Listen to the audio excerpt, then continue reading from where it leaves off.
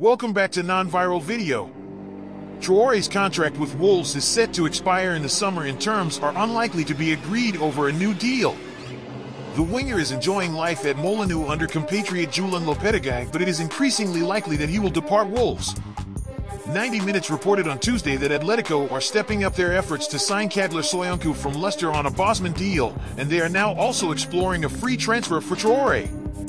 The 27-year-old has previously been the subject of interest from Premier League sides Leeds United and Tottenham Hotspur, but a return to Spain is looking a more likely option at this stage. Traore spent the second half of the 2021-22 season back in La Liga on a six-month loan with boyhood club Barcelona, making 17 appearances in all competitions for La Blaugrana, but failing to register a goal.